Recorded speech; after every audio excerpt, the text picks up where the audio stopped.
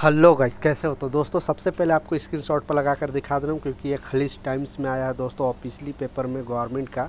तो video last से देखना, ताकि आपको पूरी जानकारी मिल सके, क्योंकि वर्कर से रिलेटेड जो भी अपडेट आता है, मैं आपके लिए अपने चैनल पर डालते रहता हूँ। तो चलिए दोस्तों स्टार्ट करता हूँ, बताता हूँ अपडेट क्या है।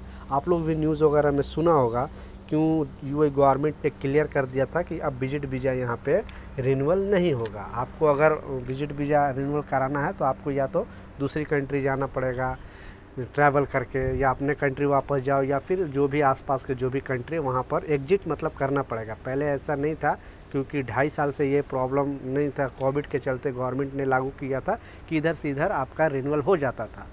तो दोस्तों, हुआ क्या कि यहाँ पे सबसे सस्ता, मान लिया आपका विज़िट वीज़ा अगर एक्सपायर हो गया है, आपको रिन्यूअल कराना है, अभी तक दुबई का जो वीज़ा है, वो तो अभी अपडेट नहीं हुआ, इसलिए अभी तक चल रहा है रिन्यूअल करा सकते हो। बट दोस्तों, जैसे अबू धाबी का वीज़ा है शारजा का वीज़ा है आजमान का वीज़ा है तो आपको बाहर मतलब दूसरे कंट्री में जाना ही पड़ेगा। इसलिए गवर्नमेंट ने क्लियर कर दिया है, आपको जैसे स्क्रीन शॉट पर लगा कर दिखाया कि सबसे सस्ता, पहले था कि फ़्लाइट का टिकट महँगा होता है किसी भी कंट्री में आप जाओ तो फ़्लाइट का टिकट तो महँगा ही होगा।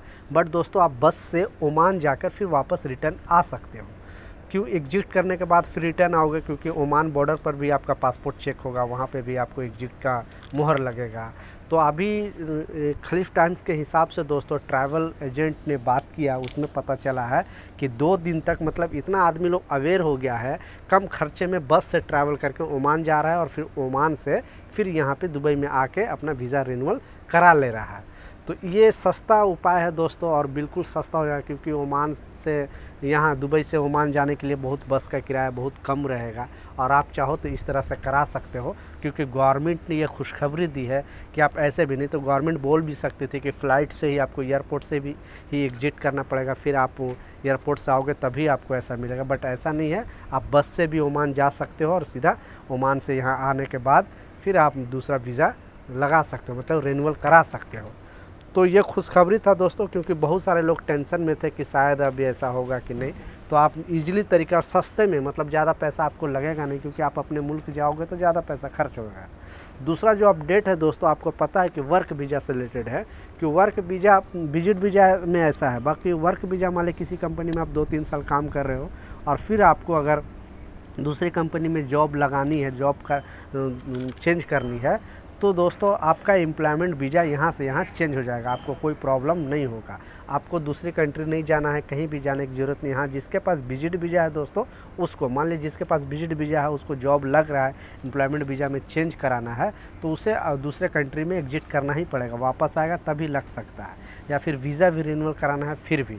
बट जो वर्क वीज़ा है, उन लोगों के लिए बहुत अच्छा है। ऑलरेडी जो कंपनी में काम कर रहे हैं, अगर दूसरे कंपनी में जॉब चेंज करना चाहते हैं तो उनको बाहर जाने की ज़रूरत नहीं है। यहाँ से यहाँ जॉब आसानी से चेंज कर सकते हैं। तो ये अपडेट था दोस्तों, मैं सोचा आप लोग के साथ शेयर करूँ और जो भी सवाल है, कुछ कन्फ्यूज़न है तो चलता वीडियो भर में चार अंक का कोड आएगा, उस कोड के साथ कमेंट करो, आपका भाई ज़रूर जवाब देगा।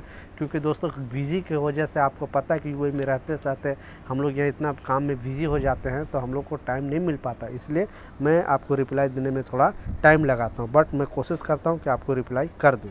मिलता हूँ नए अपडेट के साथ, जब तक जय हिंद।